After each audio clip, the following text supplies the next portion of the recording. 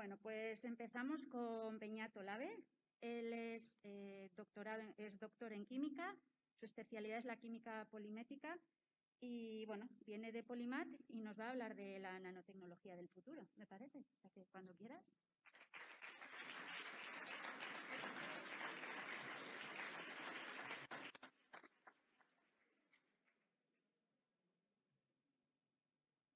Opa, bueno, bueno, yo, como han dicho, soy Beñat y trabajo en Polimat. Es un instituto que estudia materiales poliméricos.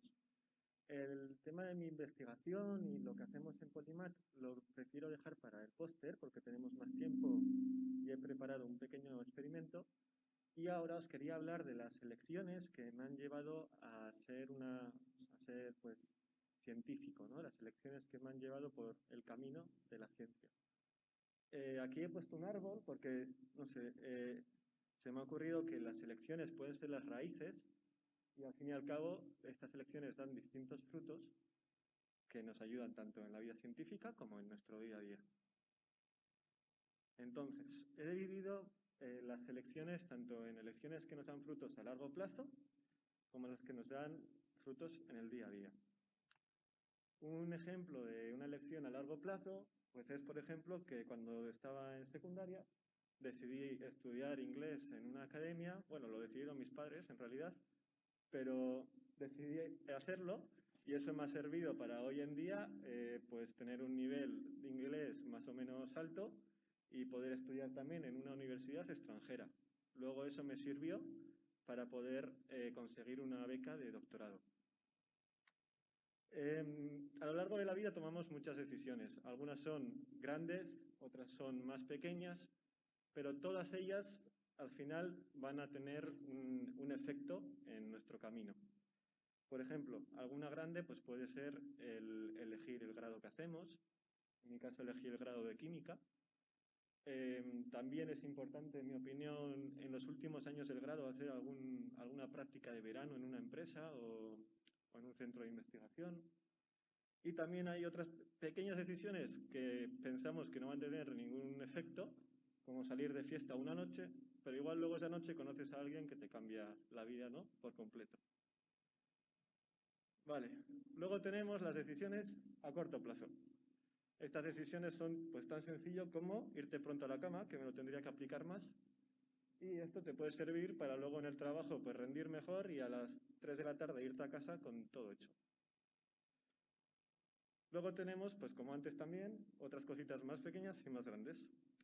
Por poner algunos ejemplos, bueno, a mí una profesora de inglés, cuando estaba en secundaria, me dijo que siempre tenía que revisar el examen como, pensando como que era ella. Y a mí eso no sé por qué me marcó. Y ahora cada vez que envío algo, siempre lo he hecho una mirada larga o corta, según el tiempo que tenga, pensando que soy la persona que lo va a leer. Y eso me ayuda mucho a hacer las cosas mejor. Luego, eh, preparar en el mundo científico, pues, por ejemplo, preparar los experimentos con tranquilidad, porque no queremos empezar un experimento que dura cinco días y al tercer día darnos cuenta de que hemos hecho algo mal y tenemos que repetir todo. Y también eh, compartir lo que hacemos con las personas con las que trabajamos o también incluso un, un investigador que puede estar en China. Porque al fin y al cabo igual estamos estudiando el mismo tema de nanotecnología. Más cositas. a los que nos, que nos, dedicamos al tema de ciencias naturales, eh, tecnología, me parece muy importante que dediquemos algunas horas a la semana a temas sociales, porque nos, nos acercan un poquito a la sociedad que estamos en Donosti. Si no estamos todo el día en el laboratorio y no, no conocemos lo que tenemos cerca. Más cositas. Eh, vale, hacer muchas cosas diferentes y nuevas. Por ejemplo, desde practicar eh, muchos deportes hasta, por ejemplo, eh, aprender cosas por las que igual a primera vista no nos interesarían o no tienen nada que ver con nuestro trabajo, pero luego puede tener un efecto muy bueno. Por ejemplo, ahora estoy aprendiendo programación y eso me sirve para hacer lo que se llama química computacional, que es simular la realidad en un ordenador.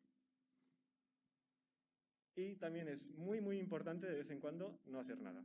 Porque cuando no hacemos nada, salimos de nuestra rutina del día a día, de que estamos todo el día trabajando en proyectos y realmente no sabemos si eso nos va a llevar a algún sitio, pero lo hacemos porque lo tenemos en la agenda, Entonces, si paramos un poquito, luego nos damos cuenta de lo que realmente merece la pena. Bueno, y para terminar, ¿cómo saber qué elección tomar? Pues tenemos aquí fotos de ajedrez y me parece un muy buen ejemplo. Y es que nunca va a haber una jugada perfecta, ¿no? una elección perfecta. Nunca vamos a mover la pieza de la mejor forma posible porque hay miles de millones de posibilidades. Entonces, yo creo que no hace falta pensar en qué sería lo mejor o lo peor, porque incluso las malas elecciones o las malas son de las que realmente se aprende más. Lo que sí que es importante es que cuando tomamos una elección intentemos no hacer daño a nadie, que no perjudique a nadie, aunque a veces pasa sin querer. También es importante que nos sintamos bien con esa elección, porque, por ejemplo, igual decidimos eh, estudiar algo o trabajar algo porque alguien nos lo dice o porque tiene como reputación, pero luego no nos hace felices. Entonces es importante ver nuestros sentimientos. Y por último, preguntar pero lo justo, tampoco demasiado. Es importante saber las opiniones, sobre todo cuando son diferentes, porque te hace pensar. Pero si preguntamos demasiado, pues a veces no tomamos las decisiones más arriesgadas. Y son esas las que nos ayudan a conseguir los sueños. Y esto era todo, os veo luego en el póster. Y mí, Esker.